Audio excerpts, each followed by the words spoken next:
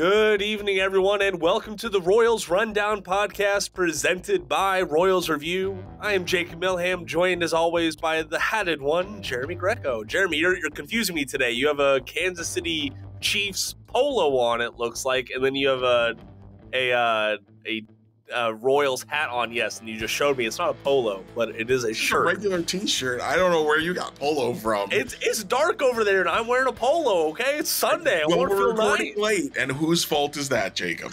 It is mine. It is my fault. Yeah. Uh, usually we'd be we'd be done by now. Jeremy would be neck deep in in a video game, and I would be neck deep in household chores or something like that. But Yeah, uh, that's I- what you get for getting married.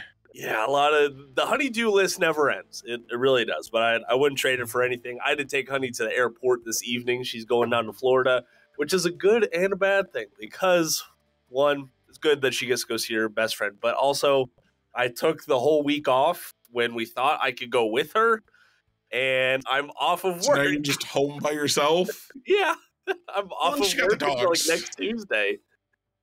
What'd you say? At least you got the dogs. Yeah, yeah. The the dogs are keeping me on our toes, and it's you. You know how it is out here on the coast, Jeremy. You get like those really just freak sudden storms during uh Yep. during hurricane season. We got one of those today, and that wasn't very fun at all. But we're here. We're not here to talk about weather systems and uh and flying out of airports. We're here to talk about Kansas City Royals baseball.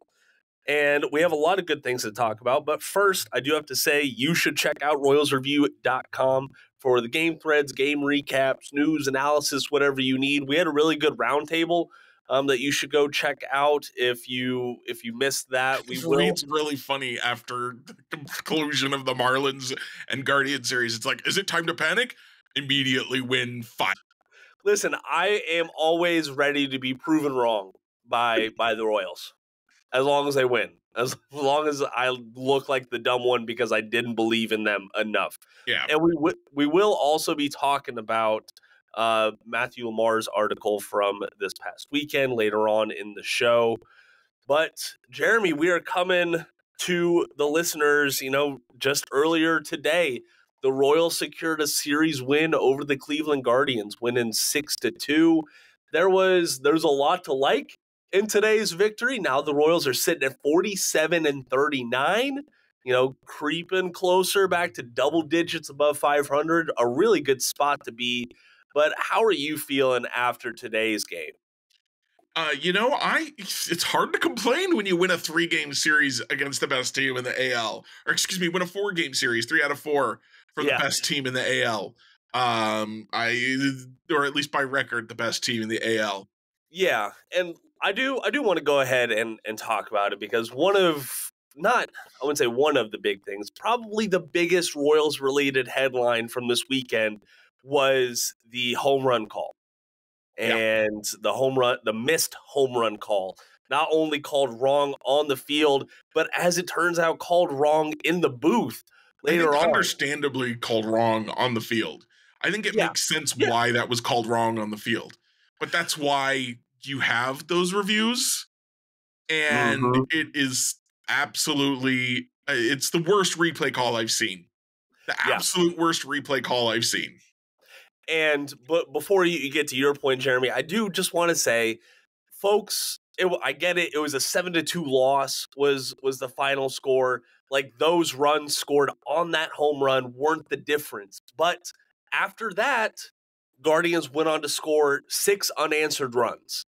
Okay, Yeah. like from that point, the momentum was all on Cleveland's side, and it just sucked the life out of Kauffman Stadium. And my big thing about that call is that there have been other bad umpiring calls, bad calls in every sport by the officials. It happens, they're humans.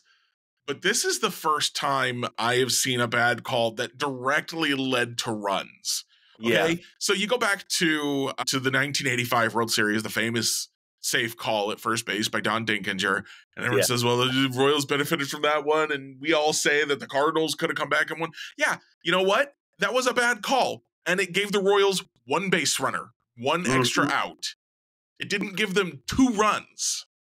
nope, Two runs is a lot to give somebody on a bad call. exactly. And that and and the other thing is the Cardinals had all, like you could say that that shifted momentum, and I, I you know that's hard to to say I don't think it did necessarily because there's still plenty of opportunities for them to get the outs and get out of that game. But then there's the whole game seven.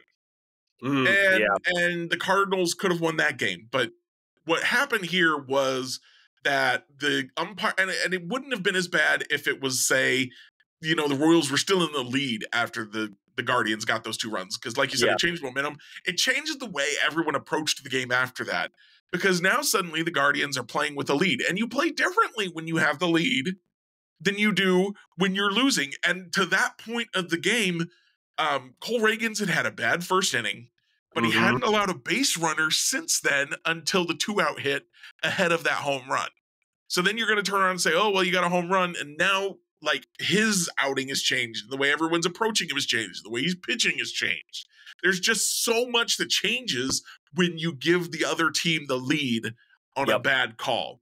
Ultimately, it's not going to matter. Ultimately, you know, the Royals are probably not going to win or lose, make it to the playoffs by a single game. But it's it was hugely frustrating in the moment, Yeah. and I I know that talking about umpires is the loser's lament, blah blah blah, but you just can't give a team two runs and be like, yeah, uh, just just just make it up. It's like giving a it's like giving a football team a whole touchdown. Yeah, and just say, "Oh, just make it up later. You'll Yeah. you'll be fine."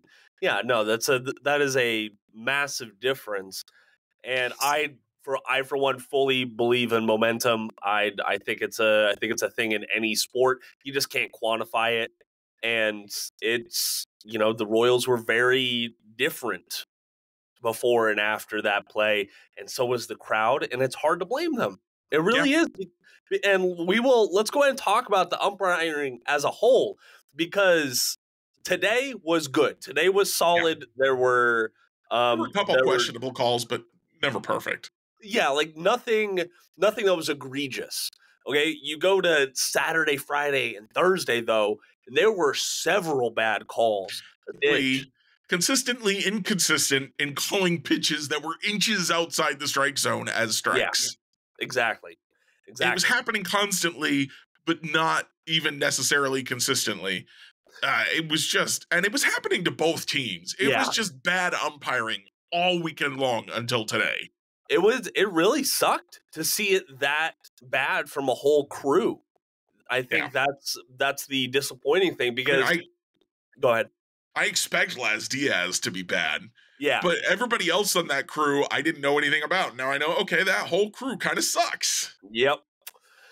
Oh, so that was very disappointing. And just to just to say it again, this isn't saying like, oh, they were against the Royals. Like, no, this was just some pretty pretty bad calls.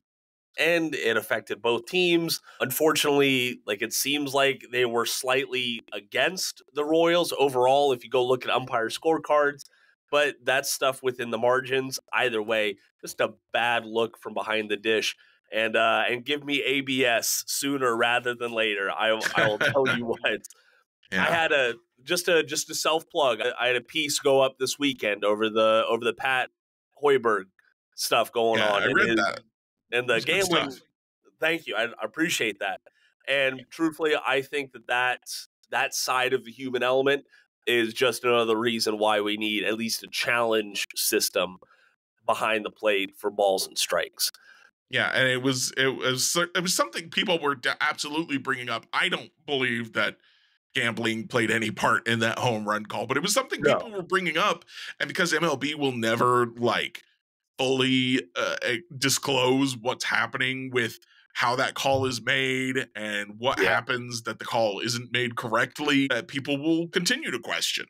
Yeah, right, rightfully so. And it's it's just because Major League Baseball has done stuff like this in the past. Okay, you you can go back to Aaron Judge's home run record Mhm. stretch, and they were sending them juice balls. Like that is Yeah. that is proven beyond a doubt that MLB did that. So just stuff like that in recent history casts some doubt on their integrity, and that sucks. It does. But what doesn't suck are the Kansas City Royals at home. Now they are 30 and 16, the second most wins at home um, from any Major League Baseball team. Five and two on this homestand. It is. I, I get it. This is a overall losing month from from the Royals. Mhm. You know, nothing nothing like May, nothing like April. But it's hard to feel bad about them right now because they've rebounded so well from that rough stretch of losses and also from the offensive output. Like the lineup is just clicking. It looks really good right now. Um, Jeremy, I do. I I think we got to talk about Seth Lugo a, a little Uh, bit. more right yeah, I I think he he probably deserves it. You know, it was it was funny early in the year. Everyone's like, "Well, he can't keep doing this. He can't keep." We're halfway through the season. He Yes. kept doing it. He got better. Uh, When he, he's the best pitcher in the American League. He's got the most wins. He's got the best ERA. He's thrown the most innings. Like he's not doing this on short outings either. No. I mean, it's just it's it's insane. He's been so good. We were like Cole Ragans is our ace, and we just hope everybody else holds it together. Well, no, our ace is Seth Lugo. I don't even think it's ace one and ace two right now because as good as Cole Ragans has been, he's been very good. He does Yeah. have those three now three bad bad starts. Yeah, you, you, you- every once in a while from him, you're going to get a real stinker, and we have not seen a real stinker from No. from Seth Lugo yet. We- So we really haven't. he he's had a couple like not good games, but Yeah. not stinkers, and he just keeps pitching so well, and it, it's just like oh my goodness, he. They, they were saying on the broadcast that he's a surefire all star, and I think that's got to be true. I Yeah. think he's absolutely contending to be a, the starting pitcher, the oh, like the the first guy out of the the bullpen or whatever, you know, Mhm. first inning guy for the American League this year. He's been that good. It's it's crazy to think that he lowered he, he lowered his ERA today. I get it. It was Yeah. it was a scoreless outing, but lowered it to 2.17. Yeah. Like those are those are elite reliever numbers, okay? Yep. not starters. Okay, today This was is- his This is Cy Young territory. Yeah, no, with like without a doubt, without a doubt, because I I don't know how else you you can slice this. We've gone over this. The I love the pitching wins, like when they go in your favor. It's not like the best stat to say he is a, a great pitcher, but you look at the ERA. You look at this. Today was his fifth start of six scoreless innings or more. Okay, that's tied for the most in baseball he completed at least six innings in 16 of his 18 starts, the most mm. amongst any MLB starter this year. He is on pace to do something that we haven't seen since Bret Saberhagen did it in 1989. Like, that is really great territory to be in for Seth Lugo, especially when he wasn't even really a starter until about two years ago. Yeah, I deal that he signed to join the Royals just looks better and better because even if he opts out, they've got him for next year. Exactly. And I will say his ERA right now only trails Zack Greinke's 2.12 ERA in 2009 for the lowest by a Royal in the first 18 starts of a season. Jeez. So I, we are not exaggerating when we say Cy Young territory because Greinke, that was the year he won the Cy Young Yep. on a bad Royals team. And right now, Yep. Lugo is doing this on a good Royals team. So I love it. Yeah, it's it is it's just mind blowing. Absolutely mind blowing. I, I it's only the last couple of starts that I finally got into this mindset of like, oh, Seth Lugo's pitching. Well, we're definitely going to be in the game. Like Mhm. up to that point, even I was like, okay, well, he's pitched really well, but can he keep doing it? Can he really? I'm I not mean- sure. I don't. I don't. It doesn't seem like that. Like I, I- all the evidence says yes, but then I'm like, uh, but it, he's not an ace, right? He only got. He's only getting 15 million this year. He's he's not he's not elite, right? He's not an all star. Justin Verlander's getting 40 million or whatever. He's not that good, right? So uh, can't. It's Lo and behold, that he is. And I, if if we're talking about mind-boggling numbers, I, I got to go back to the record right now: forty-seven and thirty-nine. They have twelve games as of right now before the All Star break in June when they go down to Texas. If they go nine and three in that span, they will match their win total from 2023 before the All Star break. if you if you don't if you are ignoring all the signs of how this team is better, just look at that and know this team is so so much better. Speaking of the win total, I would like to refer us back to the narrow path to 90 wins by Suff 76. Yes, please. This is an excellent time to check in because uh, Suff provided us with uh, overall records at the end of every month that they need Mhm. to hit. The record that the Royals would need to be at right now to be on pace for 90 wins by the formula presented by Suff 76 in that article, yeah. they would need to be 47 and 40. Ahead because of that rainout. Right. Oh. On pace. Uh, they're they're exactly where they wanted to be after Yes. the three game series win or the three wins in a four game series over the Guardians. Eventually, I'll get that right. Maybe. I hey, you know what? It is it's just fine. I've I've been stumbling all night long over the fact like yeah, they did they did play four games because I'm just not counting Saturday's game in my mind, even though it counts in the win loss column. Yeah. The uh, which actually brings me to another point I kind of wanted to make.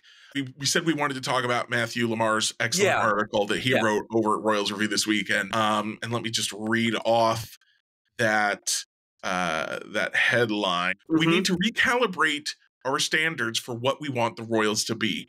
And basically, his his article is like, "This is a good team, not a greatest of all time team." Like, you need to understand that some of the things you want to happen aren't going to happen, but that doesn't make them not good. And so, this when they lost last uh, Saturday night's game, I was like, okay, well, as I wrote in the game thread ahead of time, and as I'm writing now in this recap, even if they lose tomorrow, they will split this series with the Guardians, and that's good. That's Yes. fine. And a lot of people came at me and said, "Oh no, that's not good enough. They need to win this." And no, the, the Guardians are the best team by record in the American League. If you Mhm. split a four-game series with them, if you split a four-game series with anyone, you have done your job. That Yep. is that is a C. That's acceptable. That's fine. Would you rather win that series? Would you rather sweep that series? Of course, absolutely. But at some point, you have to accept that you're not going to win every game. And and so I really just appreciated that article of like, hey everybody, put on your realism hats for a second, Yeah. uh, and, and just accept that this can be a good team without being perfect. And and, and so I'm really glad the Royals took three out of four. We talked about this uh, last week. Uh, three out of four was what they needed to do if they wanted to have a real shot at winning the division. So they still that's still in play for them, I think, Yeah. now because they won that three out of four. But it- just splitting the series would have been good enough, and I still would have felt really good going into the Tampa Bay series as we head barrel towards the All Star break. We'll we'll get to how the rest of the division is is shaping up right now here here in a little bit, but I do want to talk about the Guardians specifically. So they they had another winning month. Su- surprise, surprise. They went 14 and 11 this month. They this is like the eighth straight season or something like that that they've had a winning June, which is just I mean just speaks to how consistent that franchise is. But if you want some more benchmarks of why today's series win was important, this is the first time that they've lost a four game series in Kauffman Stadium dating back to 2014. Okay, in, in more than 10 years. Um, they still have the second best record in the AL. Today's loss dropped them behind the uh, the Baltimore Orioles, but their 52 and 30 record is still their sixth best start in franchise history. Like even for Cleveland, this is a very very good team. And second, what'd you say? right this second. Yes, right. Like right this second. It's going to stay that way, but I'll get to that in a minute. Yeah, and it's I think there's there's another dose of reality to be had in there because even though Cleveland is where it is right now, I'm not seeing like I'm not seeing Cleveland fans go out there and say, "Hey, we need to be on the market for Luis Robert," or "We need to be out there on the we need to be a buy, buy, buy, aggressive, aggressive, aggressive," because they understand you can be good and not be the best. And being good sometimes being good and lucky is better than being the best and unlucky. Jeremy, what, what, what's your what's your point about Cleveland? So my thing about Cleveland, and this is this is kind of building off of what Rex has been saying all Mhm. weekend long about how heavily Stephen Vogt, their manager, has been leaning on their bullpen. they Mm, do yeah, not have a starting rotation. They have Tanner Bibee. They have Yeah. one guy. That's not enough. I'm No. sorry. Uh, you look at the 2015 Royals, and the 2015 Royals said, "Oh, we got this bullpen." But you know what else the 2015 Royals had? Was they had some decent. They had a couple of decent starts from Jeremy Guthrie, not a, not a lot, but Chris Young stepped in as Mhm. as a guy. They had Yordano Ventura. They had Danny Duffy. They had uh, Edinson Volquez had the season Yeah. Yes. They had, and then they they acquired John Johnny Cueto Yep. and and you know they they did some really really good things that season with their starting rotation was it perfect no but they had they had a few guys that they could count Yep. on and then a couple other guys who were fine the guardians again have tanner bibee That's it. triston mckenzie who was one of their better starters just got demoted last year got demoted because he's been so bad Yep.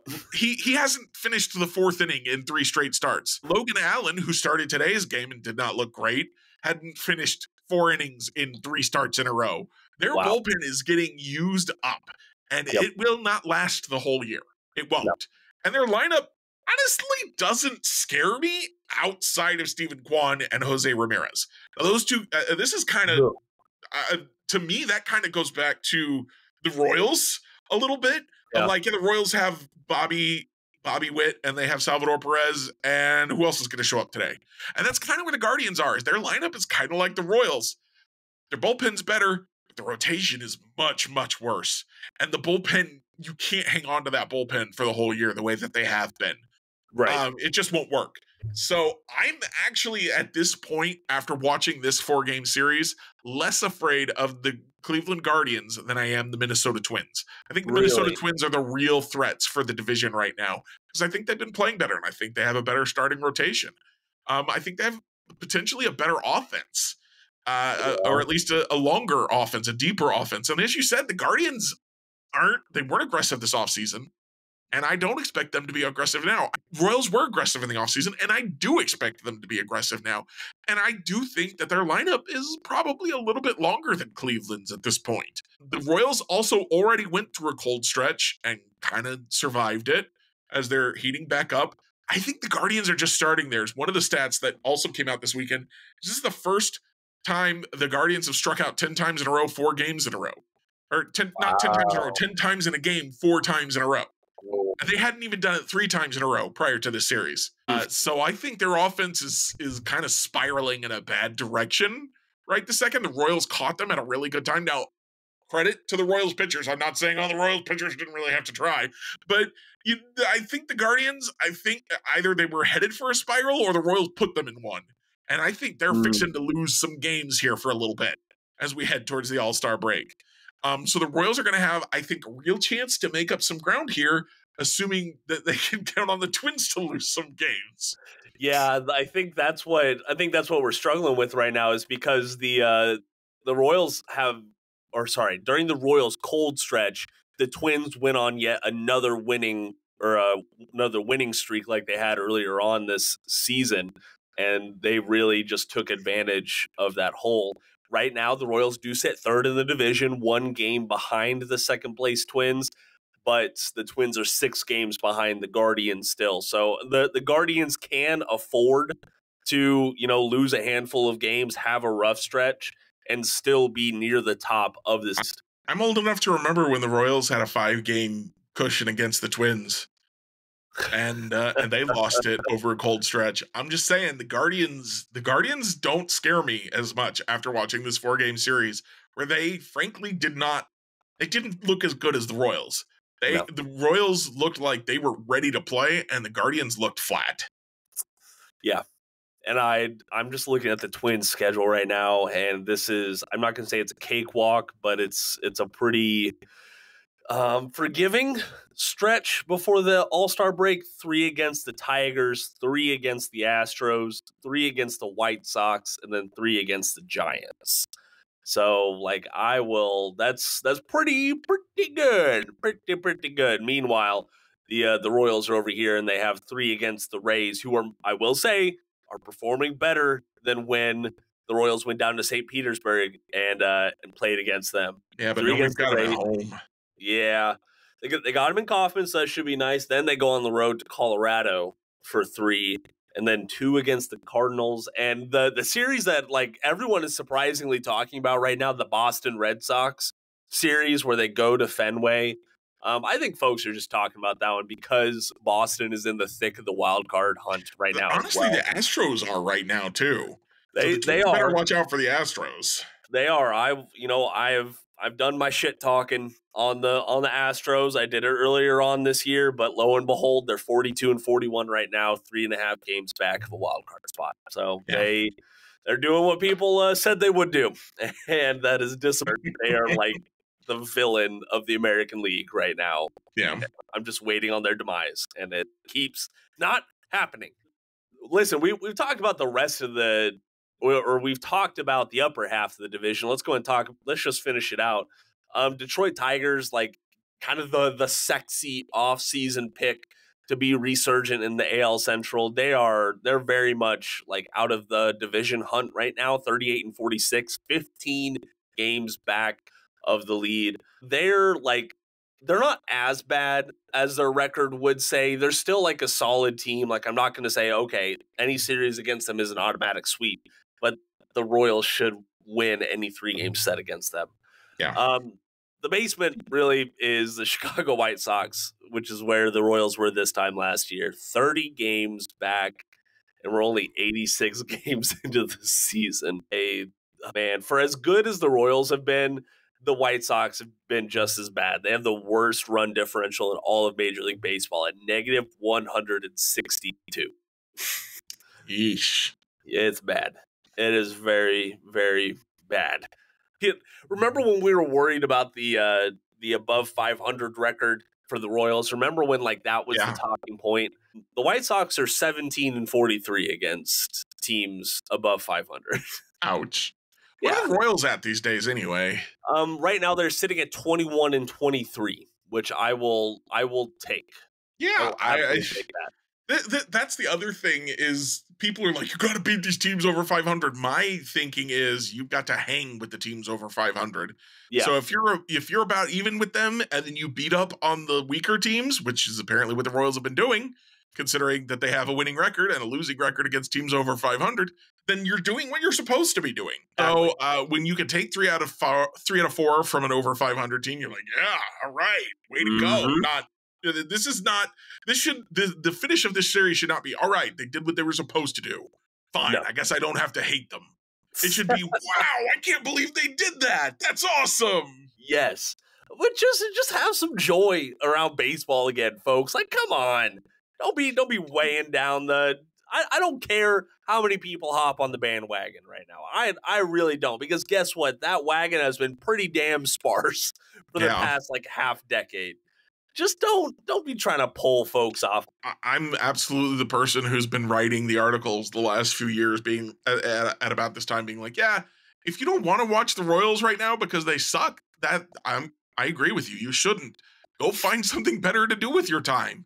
You don't owe this team your misery three hours every night, two eh, two and a half, two hours, however long every night, just to prove your fandom. You don't have to prove your fandom to anyone. The team has to prove it's worthy of your fandom. And I will say the Royals right now are proving that, and Yep. it showed today with just the amazing turnout. They had 27,691 in the stands for a Sunday afternoon game. And the the number is great, but what I think is better is the fact that the players are voc or talking about how they see it and they appreciate it. Bobby Witt Jr. talked about his as postseason or not as postseason, in his mm, post game on the field. Soon, Yeah, not soon, Jacob. is for Jeremy. Seth Lugo was also talking about it. Like they mm-hmm. feel the energy in Kauffman Stadium when you are there. Jeremy and I, we can't make it out to a game. We're we're not there. But I mean, like, come on, folks. I I remember when people would only go to Sunday afternoon games because that's when it was cheapest and you might see a prospect who was riding the bench. That was it. Now you get to see them secure a series win over the division leader. Like, come on, let's let's enjoy it. Do it with a smile. Speaking of prospects riding the bench, Ooh. CJ Alexander has Yeah. not made it into the lineup since those first two games. And I bring this up not as any kind of criticism. I think the lineups have been appropriately constructed. Nick Loftin has been getting on base a little bit. Michael Massey, you want him in your lineup. Salvi, Freddie Fermin, Vinny Pasquantino, Maikel. Well, you could maybe give Maikel a day off. though he he had a gorgeous 10 pitch at bat yesterday and a couple of hits in the game the night before. So it felt like he was coming out of it. He didn't have a great day today, though. Today he did have a couple lineouts. So uh, maybe he's about to come out of it. I don't know. It's hard to tell. But CJ Alexander has been sitting on the bench. We talked about this on Wednesday that I thought that the reason Maikel was staying at second, even with CJ on the bench in that Wednesday game with Nick Loftin mm-hmm. playing third, was that we were going to see more CJ. So it didn't make sense to move Maikel back to third and then back to second because CJ can, can play third and first. He can't play second. Now, since we haven't seen CJ in four games, five games, because he only played the first two games five. of the Marlins series, five games. That theory isn't holding as much water.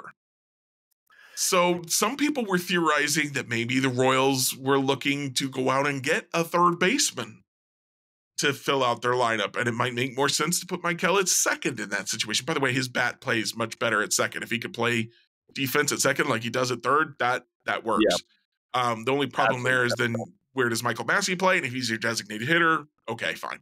So that's interesting to me. I did see David Lesky theorized on his Twitter this morning that perhaps the Royals might be pursuing Luis Rengifo of Anaheim Angels, Los Angeles yeah. Angels of Anaheim. I think actually they're just the Los Angeles Angels now. Whatever, it doesn't matter. They'll always be the Anaheim Angels to me, even though they were the California Angels before that. But that was before my time. Uh, so like Nolan Ryan was pitcher for him. Right. Uh, so the the Los Angeles Angels have Luis Rengifo, and he's yeah. kind of a leadoff kind of guy. So then you could move Maikel down to the middle of the lineup. That would be an interesting pickup. Also, their outfield has looked a lot better with uh, Kyle Isbel's been hitting, Hunter yep. Renfroe's been hitting. So your left field is still a little bit of a black hole. Um, if you still believe in MJ Melendez and you you're like, well, Michael's going to be, or excuse me, Michael Massey's going to be DHing maybe for the rest of the year. Yeah. Um, it doesn't seem like he's necessarily progressing towards playing at second base because he's not even DHing in back to back days right now. Right. So uh, if they want to go out and get a, a corner infielder like a Luis Rengifo, then uh, gosh, I hope they do it soon. That's all I'm saying. I would like to see this lineup improve soon. I want to see some help come in here and and yeah, they're winning right this second, but they're gonna cool off again eventually. They're not gonna be yeah. hot this way for the rest of the year, just like they weren't gonna be hot for the whole season when they started hot. So mm-hmm. I I would like to see something come in and, and say, all right, even if you're not hot, we've lengthened the lineup, we've added some OBP. Let's go get some runs. Because exactly. the starting pitching has just been good. All get a couple of runs. Yeah. Yeah, and we've we've seen like that run support issue pop up every now and then, but thankfully the top half of this lineup has been good enough. I'm not saying they've been great all season, but they've been good enough more often than not. Outside of that really bad uh, bad stretch. Listen, man, I'm looking at just the past week alone, like since CJ Alexander came up, I get it. He uh, he hasn't gotten on base. He hasn't gotten a hit. Like that's he he made his MLB debut. That that happens. But yeah. there's not really an argument for Nick Loftin to be playing ahead of him. I mean, Nick oh, Loftin okay. has a, a negative nine weighted runs created plus. He had a couple of walks, I think, Friday night, and so I was like, all right. but yeah. maybe maybe that was just like okay he had one good night don't read too much into that well, no, and it's it, to be fair, he is walking more than he's striking out right now across across six games, so that is good. But I mean, like a batting average of 063 with an OBP of 211, like that's not. Yeah, yeah, yeah. That's not I, the. I can um, see why he wouldn't play today against a lefty, but still. Yeah, I really it, thought we'd see him more than this. So the the I only thing that begins to make sense to me now, of course, I said the only thing that made sense to me when they signed Hunter Renfroe was if they were going to trade MJ Mo happen. so the the thing that would make the most sense to me right now is if CJ is just kind of holding a spot until they can they can bring in whoever they're they're maybe they're close to making a trade. Maybe it'll break tomorrow. I'd be so glad if they broke that trade tomorrow and give us something to to think about because they got that off day on Monday probably when you're listening to this, got yep. that off day, I would like some news to listen to, to think about, to dream about. To uh to to chew on, to, to ponder. Yeah. That that would be very, very nice. Yeah, the, the Royals do have an off day ahead of their Tampa Bay Rays series, so do keep that in mind. It is I yeah, like a an external addition at third base just makes so much more sense right now. The field would still make more sense to me, but if you can get the third baseman and you can't get the outfielder, or maybe you want to get both, you want to get Mm. crazy, and you want to get a, a third baseman and a left fielder. Listen, if probably the most aggressive trade partner out there that the Royals could have is the Angels because they have both of those and they have bullpen help in spades. Okay, like I mean, we're we're talking. Could they could they make the biggest swing they've made in years and get Jo Adell and Luis Rengifo, or could they get Taylor Ward and Luis Rengifo? Like that would. I we talked about it in the roundtable. I don't think the Royals would do that, but it's it's worth speculating about at least because that fit does make a lot of sense. It it really really I, does. So I, they're gonna make additions. Yeah. Definitely additions in the bullpen because what they they don't need elite bullpen guys. They just need strikeout bullpen guys. yeah, And there are strikeout guys to be had who aren't necessarily elite, and you're not going to have to pay that much for them. Um, so they'll they'll add a reliever or two, maybe uh, well, probably two. I would guess two. Uh, one seems like too few. Three seems like too many. So two, two relievers, and I I still think one bat. Mm, But if they brought in two bats, man, that would be aggressive. it would. would, especially if they can do it without trading from the heart of their farm system. That was another interesting article. I think that was also a Matthew Lamar special where he talked about this team. No, it was it was a David Lesky newsletter where he said this team cannot simultaneously have a farm system that has no one you care about and also be on- you won't trade for anybody to help out this roster because you don't want to lose any of your prospects. Yeah, You can't have it both ways. Nope. Um, and, and I do think that after these top guys, the the Carter Jensen, the Blake Mitchell, the Gavin Cross, I think the rest of the guys are pretty interchangeable. And so if you trade from that interchangeable group, you'll still have guys who can fill those roles that are that are still in your farm system. hmm So I, I I do think there's there's actually a lot of room for for the Royals to be aggressive in that way. To they're not going to go out and get you know the best starting pitcher, the best reliever, and the best outfield bat on the market, Yeah. but they can get they can get some guys who can make an impact.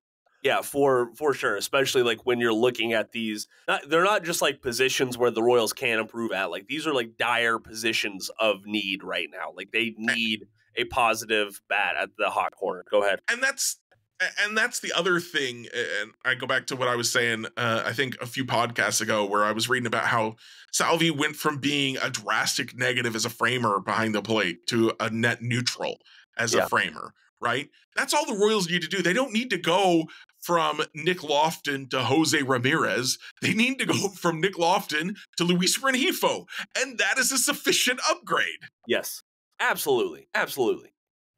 It's there's going to be a lot of moves. There's going to be a lot of chatter over the over the coming weeks. I am.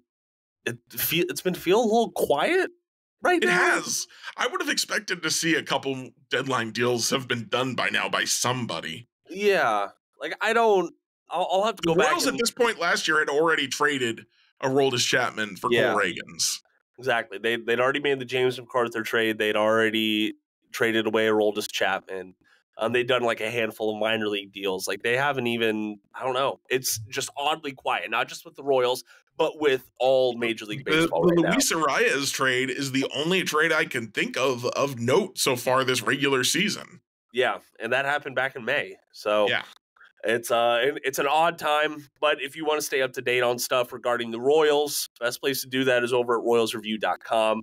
Um, I'm sure that you know it's just gonna be a busy writing month of July. You have the All Star game, you have the MLB draft, you have the trade deadline, a lot of stuff going on that could change how the rest of 2024 looks for the boys in blue. So make sure you bookmark royalsreview.com in your browser and go check that out a, a couple of times every day. You know, you you, you got to check on the the comments just that you make just to rile people up, right? Like I know I know I do. Yeah, I mean that. Uh, I we've talked about how we got our start writing things like fan posts and such, but where I, if you go back further, where I really got my start was arguing with people in the comment. Yeah, Jeremy, I, I do have one more question before we get to the Q and A. Will Smith Yeah. Is he, back, is he back in the circle of trust? Are we are we trusting him? So my circle of trust, right this second, Yeah.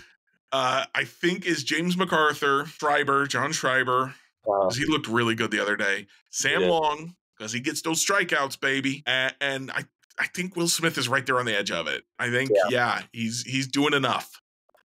so Will Smith across his last 15 games, 14 innings in that span, a 1.93 ERA, not striking out a ton. Does have nine strikeouts in that span though, which is a, a ton a ton for the soft tossing lefty.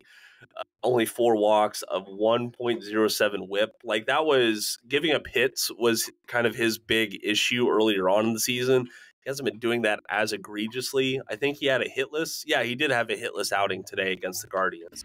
And I, I Um, what I will say also about my circle of trust is this is the 2024 version of the circle of trust. if, they, if I give them a three run lead, I'm probably okay. This is not the 2015 2014 circle of trust that was like, we could be down by one and this bullpen will somehow win us the game. We're not, that's not what this bullpen is. And that's okay. No, yeah, that is Get a, get a couple more guys in there and then maybe we could be like, okay, two run lead. I feel pretty good about it. I think I remember that in uh it was Friday's game and low leverage Royals have a massive lead. I was like, "Oh man, like these are these are prime Matt Sauer hours. Who are, who are they going to send out there instead of him? Like they, they haven't had this in a little while." It was, it was very very odd. Yeah, I'm I'm right there with you on the on Smith being like on the cusp of it. I'm just he, he's hurt those me. number the the strikeout numbers just are just of course James McArthur's strikeout numbers aren't there either, but he's got more stuff. Yes, correct. Will Smith right now has negative stuff. I I I don't know. I don't understand it's kind of like Seth Lugo. I don't understand how he's getting people out, so I don't know if I trust him. It's happening. Do I like early season Seth Lugo? Current season Seth Lugo struck out 10 again today. Uh, yeah, I trust him. That's fine. I see how he's doing it. Um, but this version of Will Smith is like, how is he getting guys? out? I know, okay. I mean, he got him out. Oh, fine, I guess. if, if we could go down a rabbit hole and talk about like how people are saying the same thing about Frank Mozzicato down in a down in the farm system, but I will leave that to more educated folks over at Farms to Fountains.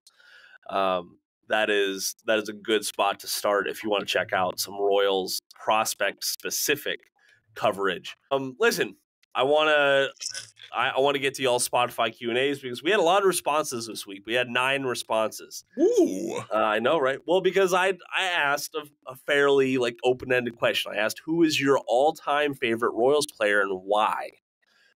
Jeremy, I think we've we've talked about our our favorites a few times here on the podcast. So Probably. Who's yours again? mine's Ventura still. Yordano Ventura, yeah. Yeah, Yeah, like I alright. like I I think they should they should build a, a statue of your Yordano Ventura out there in the in the outfield just to you know tear it down two years later. Okay. I don't know. I don't know. Um, but y'all's y'all's favorites. Let's go and get to it. Aaron Bailey says Lorenzo Cain. He and Salvi had a special relationship that I think propelled us to two World Series appearances.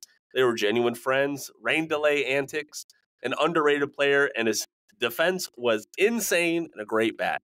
Yeah, we uh I I don't think I really he just made it look so easy out there on on both sides in all Yep. facets of the game. Got really spoiled by him. Um, Yoni Schwartz says Mike Sweeney. I always loved the feeling of hope and excitement whenever he came to the plate, knowing that we could potentially seeing a towering blast. He was a bright light during a dark Royals period. Yeah, and they like it was dark on the field, especially with the uniform combinations that they were wearing when uh, when Sweeney was was on the field. you know, I had to get a shot in there. You know, I had to get a shot in there. Jeremy. Dylan says probably Alex Gordon. I became a fan of the Royals at the start of his career and loved the way he played. His game one home run in the World Series is an all time Royals moment. Yeah, and that's like just the the, the what wasn't that the game where he did the point when he was Yeah, rounding uh, first? yeah, yeah, yeah. As you're running first, yeah. Yeah, that's I, I thought so. Yeah, that's a, that's a pretty good one. Uh, Royal Rupert has a deep cut for us. Amos Otis, Okay. coolest dude on the planet, on and off the field. It was amazing watching I Amos. I think you're giving your age away a little bit there, but uh, yeah. It is it is a deep listen. Otis so, uh, but uh, I was not. I I certainly was not. Um, new commenter, more I think more twenty two is this username. Uh, Carlos Beltran, homegrown five tool talent, future Hall of Famer. If he were here past his age 26 season, it would be a no brainer for a ton of Royals fans. He gets yeah. lost in the early 2000s fog of general Royals malaise. Is that how you say it? M A L A I S E. Jeremy, you know, mm-hmm. you know me. My, my dictionary is pretty limited. My pronunciation yeah, that's, that is correct. Yes. Well, why? Thank you. Luke. Of course, that's all David Glass's fault. yeah, they had an extension. They had it. It was agreed to, and then David Glass said no. Get him to take it for one million less. and then Carlos became an Astro, and history just, went on. Just imagine if, eh, like, if everything else went went to plan for the Royals, and Carlos Beltran was still around playing for the 2014 and the 2015 Royals. I think I don't think he would have been cool. here that long. You don't think so? You think he would have no. moved on past then? Yeah. Fair enough. Luke 57 says Salvi, there hasn't been a player who's brought more joy and hope to a team in my life. He's been an important part of this team for 12 years. That's insane. That is incredible. I wish he could have won the World Series in 14. Uh, yeah, and I'm I'm just really glad that he's bouncing back from 2023. Like I was really scared. I was like I was I was ready to move on so hard. I was like i love you Sal, but can't do this, buddy. Well, thank goodness. We, turns know, out we can. Yep, just casually, you know, a, a, top two vote getter in the in the All Star. Which, speaking of which, Phase Lead Two did open today. Yep, had what? I mean, he had his 14th today. Just uh, and he tied like, for 10th all time, 10th all time catcher home runs. Yeah, that's right. With uh, Javi right. Lopez and Campanella. Yep, there, there you go. Uh, Christopher Palmer also says Alex Gordon, being a relatively younger Royals fan, he's a player I remember watching even at Nebraska that helped me fall in love with the Royals even when they were bad. Seth says, say what you will. This is an unpopular one. Alcides Escobar. The best ability is availability, and the man played gold glove defense day in and day out. All right. I have he, nothing I feel like saying about that right now. He he was available, Seth. I I will agree with you. And then finally, Matt Kirsch says, keeping all current politics out of it, Frank White. I was a second baseman as a kid in the 80s and loved watching him play. Yeah, I mean, listen, Frank Frank White was was great in the field. I I don't I'm not quite ready to put a stamp on it, but if you squint and look at the trajectory that Maikel Garcia is on right now, he's on a Frank White esque trajectory. Interesting. Yeah, I might uh might have. So to... you're ready to retire retire his his number right now? Is that what you're saying? No, no, no, am no, not okay. not. We didn't even talk about Bo Jackson. We didn't even talk about his Hall of Fame induction. He was inducted into the Hall of Fame. Good for yeah, him. Into the, into the Royals Hall of Fame. It was it was great. Yeah, good I, stuff. Good for him. Good, I don't have a lot I want to say about that either. I okay. don't feel like getting flamed today. Okay, fair enough. Fair enough. Alrighty then. Wait the game, but uh, yeah. Yeah. I, right, listen, Bo. There's no question that Bo was an unmatched athlete. Yeah. I just question, like, what is the reason we put him in the Royals Hall of Fame? Mm. What What did he do for this team? because he didn't he didn't play here for very long, and the he teams didn't. weren't good when he was here. So to me, that's just like if he'd played for longer and been better, then okay, let's have a conversation. Apparently, I'm doing this to myself anyway. All Stop. right, fine, I'm done. I don't hate it. I don't hate his election into the Hall of Fame. How about that? We'll go. With, there that's, that's a positive thing I can almost say. Yeah, yeah, almost like in the you're in the realm of a positive way to end that. Listen, I'll feel a lot better about it if a lot of those 2014, 2015 guys get in. If if mm, only yeah. a couple of them get in, then I'll be pretty annoyed because I think a lot of them deserve it. Okay, I like that. Um, let's go ahead and get to our to our reviews tonight. It's it's late, Jeremy. It's nine thirty. It's it's my bedtime. Okay, I gotta I gotta get my beauty sleep to try and maintain what little I have. Um, I'm going to go ahead and and do my review. It's it's not over entertainment. I haven't really taken in a lot of. Actually, you know what? No, I am going to review the third season of The Chef, or Okay. not The Chef, The Bear, The Bear. Okay. They they dropped the whole new season earlier on this week. It's getting a lot of lot of negativity online, but for the reasons that people are being negative about it, I love. It's less it's less over the top drama, it's less dialogue, it's more of the art. It's diving into more of the details both with the food and with these individual characters. It's a very nuanced season and I will say it also helps that it was renewed for two seasons so they could afford to have a season like this that really fleshes some things out and then they move on to season four and really get the story going again so it's not for everyone but if you like cooking and if you just like cinema and then go check out the bear um we're watching on disney plus i think it's on hulu too Yeah. I was just watching watching an episode from season two with with a buddy earlier today. Yeah. The cinematography on that show is just out of this world. it's amazing dude I, I don't care what else you have to say about it. The cinematography is just fantastic. the As, cat as my buddy put it, he said uh, he said they just they just give a camera to tell send the cameraman and the cinematographer somewhere and say have fun. Yeah, and they certainly have fun and a lot of skill. So, and that's I'm not I'm not shitting on other folks who do that professionally, but like you can tell when talented people get the leeway to do what they want to do, and Yep. that's what it seems like the bear is. So, Jeremy, what's your review? What you got for us? So I am going to go ahead and review Spider-Man 2 for the Okay. PS5. Yeah. Um, so this is a game that I've been playing for a couple of weeks. I'm getting pretty close to the end now. Um, it took me a little bit to get invested in it. It was a little buggy, a little kind of goofy. Uh, the game starts off with like Peter is joining, co-founding a foundation that's going to save the world by like somehow doing research on 500 different subjects uh, simultaneously. Um, and all the scientists, of course, are all cross trained on all of those somehow. And, and then there was a weird bug where I was uh, in a thing where I couldn't move, but I tried to move, and it forced a character who was standing next to me to walk into a table. Like, so the table was like bisecting him, and then he walked like a foot above the ground for a while. Uh, Like, but uh, once I got, you know, into the story, and got into the gameplay, uh, it really kind of settled in, and I was having a lot of fun with it. I'm still having a lot of fun with it, even as I'm getting kind of close to the end. It is a game that is a little shorter than some of the games I play, but I Yeah. think that's probably good in that it is not overstaying its welcome. Like just as I'm starting to feel like "Mm, I think I'm about ready to be done with this, it's about ready to be done. Okay, that that is good.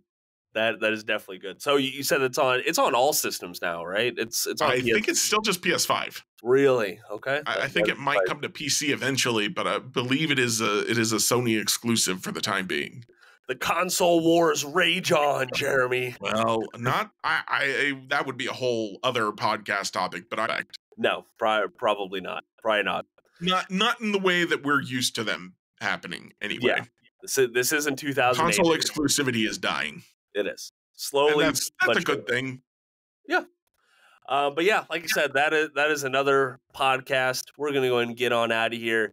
Uh, looking forward to a day off for the Royals before they welcome the Rays to Kauffman for Tuesday, Wednesday, and I- I- Thursday three game set.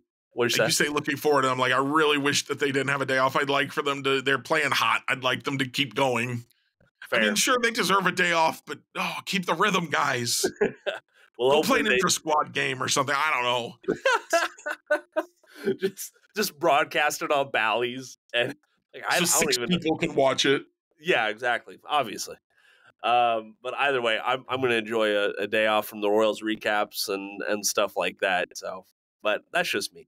We're gonna get on out of here. I'm Jake Milham. He's Jeremy Greco. You can follow us on social media. Our links are down in the podcast description below. Check out royalsreview.com. You already know the drill. But most importantly, throw some people under the bus. We keep getting these damn negative Apple Podcast reviews if you want to keep the podcast growing and keep get us in more feeds around the world, go give us a review on Apple Podcasts. Please, please, please. From all of us here, which is just me and Jeremy. thank you so much for joining me tonight. And until next time, oh Royals.